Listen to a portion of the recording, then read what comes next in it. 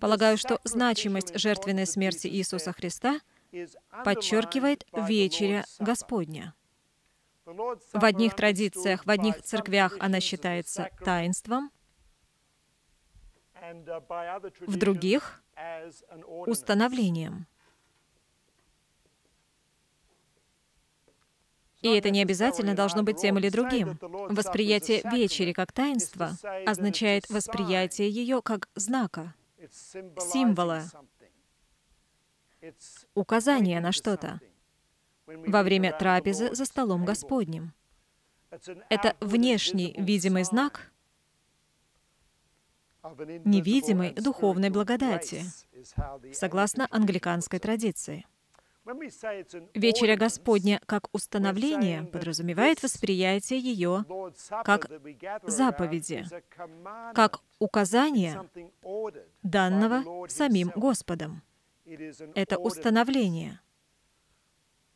На мой взгляд, Вечеря Господня — это и таинство, и установление. Как нам должно ее воспринимать? Ключ к правильному пониманию нам дает сам Христос в Матфея 26. Евангелие от Матфея, глава 26. Стихи с 26 по 29. Матфея 26, 29.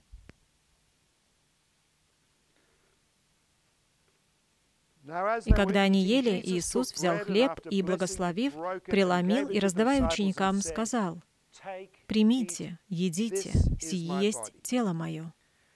И, взяв чашу и благодарив, подал им и сказал, «Пейте из нее все, ибо сие есть кровь моя Нового Завета». Помните исход 24.8 и отраженную в нем идею крови Завета? И вот она возникает снова. «Ибо сие есть кровь моя, Нового Завета, за многих изливаемая в оставление грехов».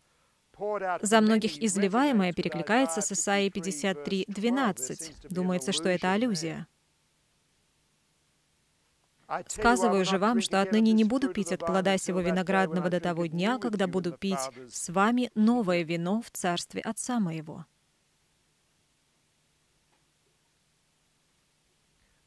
Иисус связывает воедино свою смерть, жертву таинство, понятие «раб Господень»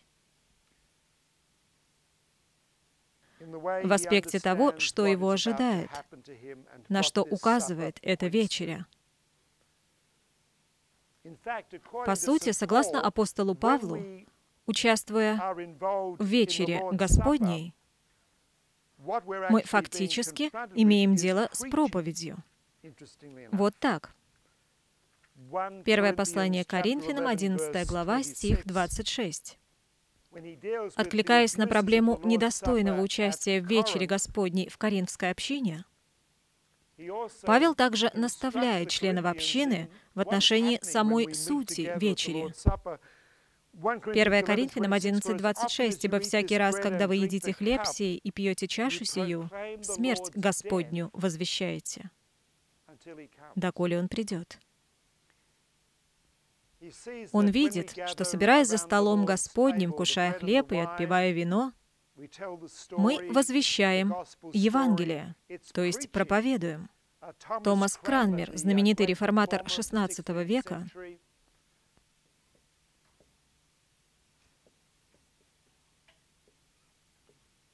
восприняв идеи Августина и периода ранней церкви, описывает вечерю как проповедь Господа, обращенную к нашим чувствам. Вечеря Господня — это зримые, воплощенные слова. Не знаю, друзья, известно ли вам имя Леона Морриса. Леон Моррис, известный английский евангельский богослов, автор многочисленных публикаций, который, в частности, много писал на тему креста в рамках богословия креста. Он был директором колледжа Ридли, который впоследствии в 90-х годах возглавил я. Так вот, когда Морис вышел на пенсию, я пригласил его проповедовать в церкви. К тому времени ему было уже за 80. Я помню эту проповедь, очень волнующую. Люди расположились вокруг него. Они были еще более рассредоточены, чем в этом классе. Когда я проповедовал, то люди сидели и передо мной, и по обеим сторонам. Он, как это часто бывало, проповедовал о кресте. Оглядываясь, проповедник показывал то на одного, то на другого слушателя и говорил, «Он умер за вас, и за вас, и за вас». И это вызывало сильное чувство. Была вечеря Господня, и он был прав, ибо возвещал смерть Христову и ее значение, доколе он придет. Это воспоминание о Голгофе, а не ее повторение. И послание к евреям говорит об этом четко и ясно. Это не повторение. Подробнее об этом немного позже на семинаре. Так что же происходит между тем, когда мы собираемся за столом Господним? Это возможность перенастроиться, переключиться на то, что составляет суть даруемой нам живой и действенной благодати Божией. Вероятно, это могло бы стать серьезным аргументом за проведение большего количества служений хлебопреломления в наших церквях. Да и значение его, как мне кажется, переоценить трудно. Не только хлебопреломление, но и крещение, также возвещающие темы смерти и воскресения, это два данных Христом установления. Они направляют наше внимание не на рождественские события, не на воплощение, а на крест, на события Страстной Пятницы и следующей за ней Пасхи. Повторю свою мысль. Два важнейших установления, данных нам Христом, служат ключом к пониманию того, что подлинно значимо, что подлинно важно. Жертва. Поддержите ТВС молитвой и финансами. Не рассчитывайте, что пожертвует кто-то другой. Так думают многие, и хорошие проекты перестают существовать.